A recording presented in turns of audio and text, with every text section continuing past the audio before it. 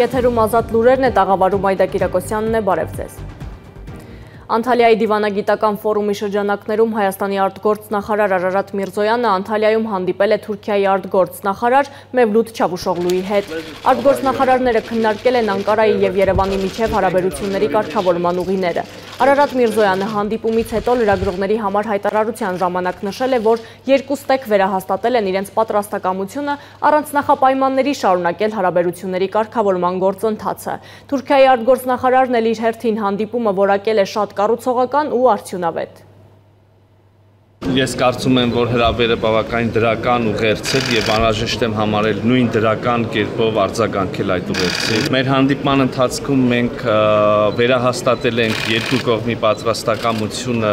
շարունակել կարգավորման, նորմալացման գործընթացը հարաբերությունների հաստատման եւ սահմանների բացման նպատակով առանց որևէ նախապայմանի եւ մեր երկու ներկայացուցիչները աշխատում են այդ ուղղությամբ հուսով եմ որ որ մոտ ապագայում դրական արդյունքներ կտեսնեն։ Ուրախ եմ տեսնել, որ տարածաշրջանի բոլոր ժողովուրդները, բոլոր պետությունները փորձում են կառուցել խաղաղություն եւ կայունություն մեր տարածաշրջանում։ Համենայն դեպս Հայաստանի կողմից այդ պատրաստակամություն ունենալ խաղաղ խաղաղ եւ կայուն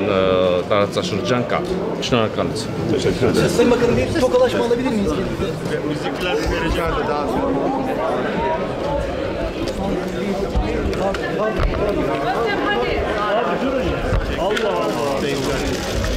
Arkadaşlar açabilir miyiz? Arkadaşlar açabilir miyiz rica etsem? Açalım. Açalım arkadaşlar. Açalım açalım lütfen. Açalım. Arkadan.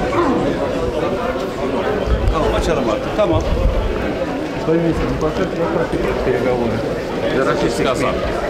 Çıkıyor muyuz hemen? Çıkıyor mu? Daha çok kar. Ha.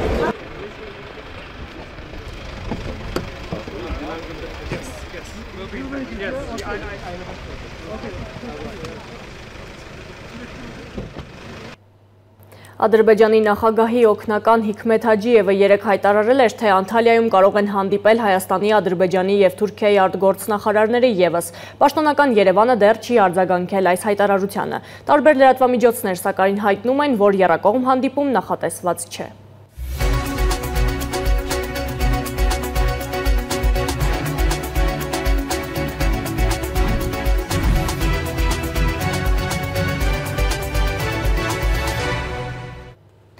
Անթալիայի դիվանագիտական ֆորումի շրջանակներում Արարատ Միրզոյանը հանդիպում է ունեցել նաև Ավստրիայի եվրոպական եւ արտաքին գործերի դաշնային նախարար Ալեքսանդր Շալենբերգի հետ։ Նրանք անդրադարձել են Հայաստանի եւ Ավստրիայի միջև գործակցության օրակարգին։ Նախարար Միրզոյանն իր գործընկերոջ ուշադրությունն է հրավիրել Լեռնային Ղարաբաղում եւ Հայաստան-Ադրբեջան սահմանագոտում ադրբեջանական զինված ուժերի կողմից իրականացվող սադրիչ գործողություններին։ Ընդգծվել է ԵՀԿ Մինսկի խմբի համանախագահության մանդատի ներքո ԼՂՀ հակամարտության համապար համապարփակ ու տևական կարգավորման անհրաժեշտությունը։ Զրուցակիցները մտքեր են փոխանակել Հայաստանի եւ Թուրքիայի միջև հարաբերությունների առանց նախապայմանների կարգավորման գործընթացի շուրջ։ Քննարկվել են նաեւ միջազգային օրակարգի համատեղ հետաքրքրություն ներկայացնող այլ հարցեր։ Ադրբեջանական կողմը շարունակում է ոչ միայն խախտել հրադադարի ռեժիմը, այլև պարբերաբար ապետեղեկատվություն է տարածում։ Այսօր եւս Ադրբեջանի պաշտպանության նախարարությունը հայտնել է, թե իբրև Արցախի պաշտպանության բանակի ստորաբաժանումները հրաձգային զինատեսակներից կրակ են բացել ադրբեջանական մարտական դիրքերի ուղությամբ։ Արցախի պաշտպանության բանակը հերքելով այս տեղեկությունը հայտնել է, որ իրականում մարտի 11-ին ամբողջ օրվա ընթացքում Ադրբեջանի զինված ուժերի ստորաբաժանումներն են պարբերաբար խախտել հրադադարը Արցախի ասկերանի շրջանի խրամորդ, փարուխ, խանապատ գյուղերի ուղությամբ ականանետերից արձակելով ընդհանուր առմամբ 27 ական։ Իսկ գիշերը տարբեր ուղություններով ադրբեջանական կողմը հրադադարը խախտել է հրաձգային զինատեսակների կիրառմամբ։ Ադրբեջանի արտաքին գործերի նախարարի տեղակալը լրագրողների հետ զրույցում հայտարարել էր, որ Բաքուն պատրաստ է Երևանի հետ խաղաղության համաձայնագիր ստորագրել եւ փակել հակամարտության պատմության էջը։ Նրա խոսքով Ադրբեջանի գլխավոր առաջնահերթությունը հաղորդակցության վերականգնումն է, այդ թվում մինչև Նախիջևան երկաթուղու եւ ավտոմոբիլային ճանապարհի բացումը։ Հայաստանի հետ խաղաղության պայմանագիր ստորագրելու մասին Բաքվի հայտարարությունները հակասում են Արցախում խաղաղ բնակավայրերի ուղղությամբ Ադրբեջանի զինված ուժերի կողմից կողմից գրակոցներին։ Ադրբեջանի նախագահի օգնական Հիկմետ Հաջիևն էլ հայտարարել է, թե Անտալիայում ընթացող դիվանագիտական ֆորումի շրջանակում կարող են հանդիպել Հայաստանի, Ադրբեջանի եւ Թուրքիայի արտգործնախարարները։ Պաշտոնական Երևանը դեռ չի արձագանքել այս հայտարարությանը։ Տարբեր լրատվամիջոցներ սակայն պնդում են, որ հանդիպումը տեղի կունենա։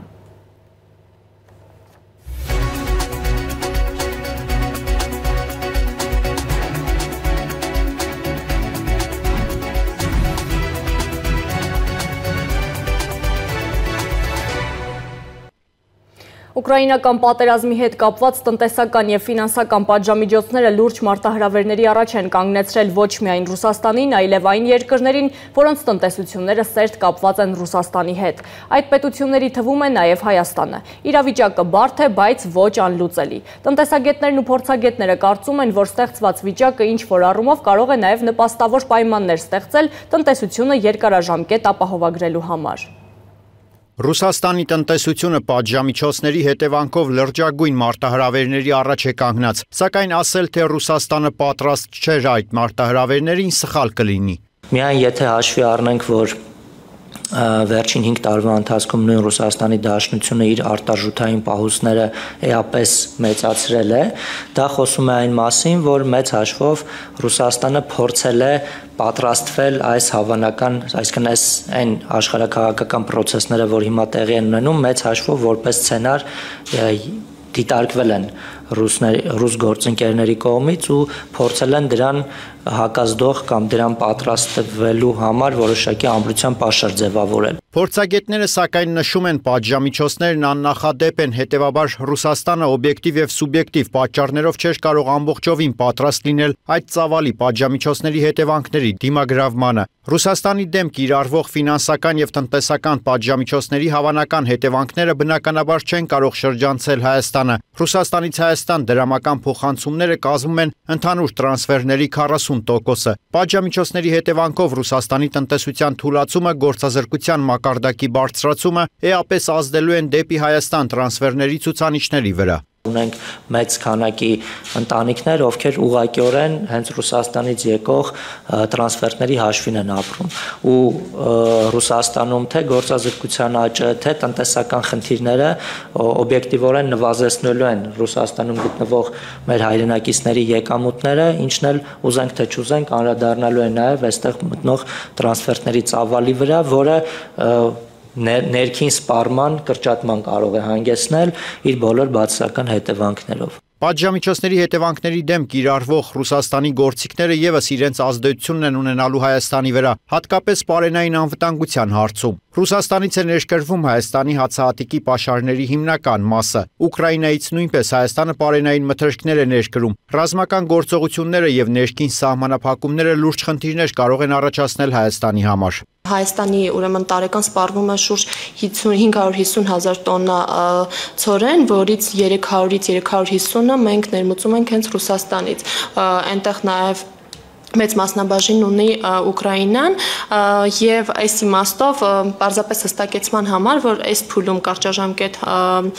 հորիզոնում խոճապային տրամադրությունները շուկայում կարող են ավելի վատ թարացնել վիճակը Բազմաթիվ մարտահրավերների առաջ են կանգնած դրանք հաղթահարելու համար անհրաժեշտ է ճիշտ եւ հավասարակշռված քաղաքականություն վարել։ Պետք է պետությունը այս դեպքում ինչ որ ձև արձագանքի փարատի համապատասխան հիմնավորումներ ներկայացնի, որ այդ հավանական ռիսկերը իրենց կողմից դիտարկվում են ու հնարավորինս չեզոքացված են։ Չնայած ԵԱՏՄ պետությունների միջև առանձին առանձին տնտեսական շփումները երբեք բարձր մակարդակի վրա չեն եղել, սակայն այսօր ստեղծված իրավիճակն այլ է եւ այն կարող է լավ նախադրյալ դառնալ այդ երկրների միջև գործակցությունն ավելի խորացնելու համար, ինչն էլ իր հերթին էապես կմեղմի Ռուսաստանի նկատմամբ կիրառվող պատժամիջոցների հետևանքների ազդեցությունը։ Մկրտիչ Իսրայելյան Free News ազատ լուրեր Ուկրաինայի տարածքում ռազմական գործողությունները շարունակվում են։ Ռուսաստանի պաշտպանության նախարարությունը հայտնել է, որ ուկրաինական մի քանի քաղաքներ գտնվում են շրջափակման մեջ։ Միևնույն ժամանակ արևմուտքը նոր պատժամիջոցներ է սահմանում Ռուսաստանի եւ ռուս քաղաքական գործիչների նկատմամբ։ Արդեն 17-րդ օրն է Ուկրաինայում շարունակվում են ռազմական գործողությունները։ Ռուսական զորքերը շրջափակել են Ուկրաինայի մի քանի խոշոր քաղաքներ։ Կիևի քաղաքապետ Վիտալի Կլիչկոն հայտնել է, որ բնակչության կեսից ավելին մնում է պաշարված քաղաքում։ Ռուսաստանի պաշտպանության նախարարությունը հրապարակել է ռուսական մարտական ուղաթիռների կողմից Ուկրաինայի զինված ուժերի զրահամեքենաների խոցման տեսագրությունը։ Ռուսաստանի պաշտպանական գերատեսչության տարածած հաղորդագրությունում նշվում է, որ Ռուսաստանի օթատիեզերական ուժերի K-52 ալիգատոր հարվածային ուղաթիռները ոչնչացրել են Ուկրաինայի զինված ուժերի զրահատեխնիկա եւ մեքենաների շարասյուն։ Դոնեցկի ժողովրդական հանրապետության վերահսկողության տակ անցած բնակավայրերի ականազերծման գործընթացը կարող է տևել մի քանի տասնամյակ։ Արտակարգ իրավիճակների նախարարությունը հայտնել է, որ մարտի 2-ից ի վեր Դոնեցկի ժողովրդական հանրապետության վերահսկողության տակ հայտնված տարածքների ուսումնասիրության ընթացքում հայտնաբերվել է ավելի քան 1400 պայթուցիկ առարկա։ Ընդհանուր առմամբ այս ընթացքում ուսումնասիրվել է ավելի քան 60 հեկտար տարածք։ Իսկ Ամերիկայի Միացյալ Նահանգների իշխանությունները շարունակում են նոր պատժամիջոցներ սահմանել։ Պատժամիջոցների թիրախում են հայտնվել Ռուսաստանի Դաշնության պետդումայի եւս 12 պատգամավոր։ Նաեւ Ռուսաստանի Դաշնության նախագահի մամ մամուլի քարտուղար Դմիտրի Պեսկովի կինը եւ չափահաս երեխաները։ Այս մասին հայտարարել է Պետդեպարտամենտի մամուլի ծառայության ղեկավար Նետ Փրայսը։ Մկրտիչ իսրայելյան Free News ազատ լուրեր։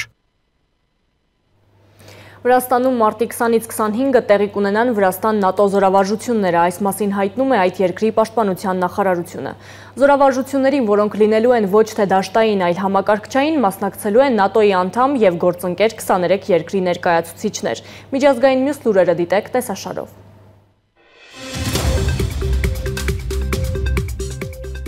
Միացյալ Նահանգները կարգել է Ռուսաստանից ալկոհոլի ոչ արդյունաբերական ալմաստների եւ ծովամթերքի ներմուծումը, նաեւ դեպի Ռուսաստան թանկարժեք ապրանքների մատակարարումը։ Այս մասին հայտարարել է ԱՄՆ նախագահ Ջո Բայդենը։ Բացի այդ, ԱՄՆ նախագահն իր հրամանագրով արգելել է Ռուսաստանին վաճառել կամ մատակարարել դոլարային թղթադրամներ։ Ռուսաստանի Դաշնության քնչական կոմիտեն գործ է հարուցել Մետա աշխատակիցների կողմից Ռուսաստանի քաղաքացիների նկատմամբ բռնություն գործադրելու ապօրինի կոչերի առնչությամբ։ Ավելի վաղ ընկերության ներկայացուցիչ Էնդի Սթոունը հայտարարել էր, որ Մետան ժամանակավորապես հանել է իր հարթակներում ռուս զինվորականների նկատմամբ բռնություն հրահրելու կոչերի արգելքը։ Մոտ ապագայում Ռուսաստանում կարող են արգելափակվել Մետայի բոլոր ծառայությունները՝ Instagram-ը, WhatsApp-ը եւ Facebook-ը Messenger-ի հետ միասին։ YouTube-ը սկսում է արգելափակել ռուսական պետական լրատվամիջոցները ամբողջ աշխարհում, ասվում է ընկերության հայտարարության մեջ։ YouTube-ը հեռացնելու է նաև Ուկրաինայում Ռուսաստանի հատուկ գործողության մասին բովանդակությունը, որը խախտում է նրա քաղաքականությունը։ Ընկերությունը նաև դադարեցրել է դրամայնացման բոլոր մեթոդները Ռուսաստանում։ Միացյալ Նահանգների պետքարտուղար Անթոնի Բլինկենը հերախոսազրույց է ունեցել Ուկրաինայի արտգործնախարար Դմիտրի Կուլեբայի հետ։ Հերախոսազրույցի ընթացքում նրանք քննարկել են Թուրքիայում այդ երկրի արտգործնախարար Մևլութ Չավուշօղլուի, Ռուսաստանի Դաշնության արտգործնախարար Սերգեյ Լավրովի ու Կուլեբայի միջև կայացած երակողմ հանդիպումը։ Նշվում է, որ Բլինկենը վերահաստատել է Ամերիկայի Միացյալ Նահանգների հանձնառությունն Ուկրաինայի ինքնիշխանությանն ու տարածքային ամբողջականությանը։ Թուրքմենստանում բացվել է բոլոր ընտրական տեղամասերն ու մեկնարկել են արտահերթ նախագահական ընտրությունները։ Նախագահի պաշտոնի համար պայքարումը 9 տեխնացու, որոնց շարքում է գործող նախագահ Գուրբանգուլի Բերդի Մուհամեդովի որդին փոխվարչապետ Սերդար Բերդի Մուհամեդովը։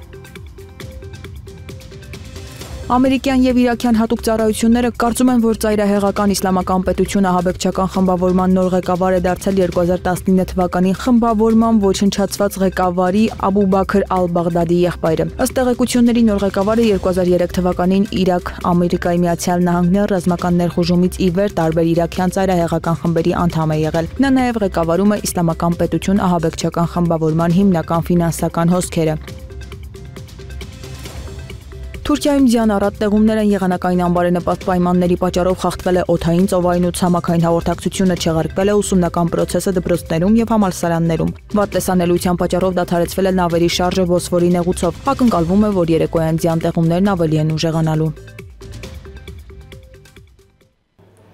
Երևանի Մխիթար հերացու անվան պետական բժշկական համասարանի լավագույն մասնագետները սկսում են 100 տարի ժողովրդի թիկունքին ծրագիրը։ Այն նվիրված է բուհի 100 ամյակին։ Համասարանական նախաձեռնության շնորհիվ քաղաքացիները կարող են դիմել բժշկի եւ ստանալ անվճար խորհրդատվություն, անցնել տարբեր հետազոտություններ։ Տեղ-տեղ ֆիբրոզ փոփոխություններ կան։ Այն ինտերնետ ցան։ Այս է, նայեք տեսեք լոկալ օջախ հատվածը։ բայց գոյացություն պաթոլոգիկ չունենք։ 100 տարի ժողովրդի թիկունքին ծրագրի մեկնարկը տրված է։ Ուղիղ 100 օրվա ընթացքում Երևանի պետական բժշկական համալսարանի առաջատար մասնագետները յուրաքանչյուր շաբաթօր կիրականացնեն անվճար խորհրդատվություններ Հերացի թիվ 1 եւ Մուրացան համալսարանական հիվանդանոցների պոլիկլինիկաներում, նաեւ Միքայելյան վիրաբուժության ինստիտուտում։ Նախաձեռնությունը իր մեջ ներառում է բժշկական համալսարանի մասնագետների կողմից կազմակերպված խորհրդատվություններ, ինչի արդյունքում անհրաժեշտության դեպքում նաև կկատարվեն վիրահատական միջամտություններ մեր ազգաբնակության համար։ Վիրահատությունները կկատարվեն 50% սեղջով, ինչի մեջ կներառվի բուն վիրահատության արժեքը եւ նախավիրահատական կատարվող բոլոր հետազոտությունները։ Բժշկական անվճար խորհրդատվությանը մասնակցելու համար քաղաքացիները պետք է նախապես հերթագրվեն։ Դեռ նոր է մեկնարկը տրվել, սակայն արդեն մոտ 90 քաղաքացի հերթագրվել է անվճար բուժ սպասարկում ստանալու համար։ Առաջի համասարանական հիվանդանոցում ընդգրկված է 14 մասնագետ։ Սրտաբան, թոքաբան, վիրաբույժ, ուրոլոգ, ակնաբույժ, միկրովիրաբույժ, քիթկոկորտ ականջաբան, գինեկոլոգ, հիմնական մասնակցությունը դրանք են՝ նյարդավիրաբույժ, նյարդաբան։ Բժիշկները փաստում են, որ կորոնավիրուսային հիվանդություններից հետո մարդկանց մոտ սրվել են մյուս հիվանդությունները։ Այժմ քաղաքացիները սկսել են ավելի հաճախ դիմել բժշկի, ինչի արդյունքում հիվանդություններն ավելի վաղ փուլում են հայտնաբերվում, հետևաբար ավելի հեշտ բուժվում։ Ավելի շատ դիմում են տարած թոքաբորբի հետևանքներով եւ տարած թոքաբորբի կողմից առաջացած խնդիրներով Դրանք շատ տարբեր են։ Թոքաբորբը եղել է կորոնավիրուսի ժամանակ, թոքաբորբը ստացել է լիարժեք բուժում, Պետական պատվերից օգտվելու իրավունք ունեցող քաղաքացիների բուժումը եւս կիրականացվի անվճար։ Խորհրդատվության հիման վրա բժշկի կողմից կտրամադրվի հատուկ ուղեգիր, որը հիմք կհանդիսանա հետագա վիրաբուժական միջամտությունները 50% զեղչով իրականացնելու համար։ Այս միջոցառումը նպատակ ունի իրականացնել որակյալ առաջնային բուժ օգնություն պոլիկլինիկական հա ծառայության շրջանակներում, սակայն մասնագիտական մակարդակի վրա 100 տարի ժողովրդի թիկունքին ծրագրի շրջանակներում մարդիկ մինչև հունիսի 18-ը կարող են դիմել բժշկի եւ անցնել տարբեր հետազոտություններ։ Իդեպ այս 100 օրերի ընթացքում համալսարանական մասնագետները կիրականացնեն նաեւ սահմանված թվով այցելություններ Հայաստանի մարզեր։ Լուսինե Գրիգորյան, Տիգրան Ղազարյան, News, Ազատ լուրեր։ Կորոնավիրուսի համավարակն աշխարում հերու է ավարտից։ Այս մասին է հայտարարել առողջապահության համաշխարհային գազམ་ակերպության գլխավոր տնօրենը։ Չնայած դրան շատ երկրներ չեղարկել են օթային հաղորդակցության սահմանափակումները։ Ռուսաստանը COVID-19-ի սահմանափակումները վերացրել է 8 երկրի համար, այդ թվում Հայաստանի։ Իսկ ինչպիսին է կորոնավիճակը Հայաստանում։ Հայաստանում մարտի 12-ի ժամը 11-ի դրությամբ հաստատվել է կորոնավիրուսային հիվանդության ընդհանուր 422953 դեպք, որից 408215-ն առողջացած, 8570-ը մահվան ելքով։ Կորոնավիրուսային հիվանդությամբ այս պահին փաստացի բուժում է ստանում 3533 բուժառու։ Մեկ օրում կատարվել է 2939 թեստավորում, հաստատվել է կորոնավիրուսային հիվանդության 111 նոր դեպք, առողջացել է 282 քաղաքացի, արձանագրվել է մահվան 2 դեպք։ Թեստավորումների ընդհանուր թիվը հասել է 2 միլիոն 933 020-ի։ Այժմ ծանոթացեք նաև եղանակի տեսությանը, իսկ մեր հիմնական թողարկումը դիտեք 19.30-ին ես ձեզ հրաժեշտ եմ տալիս հաջողություն։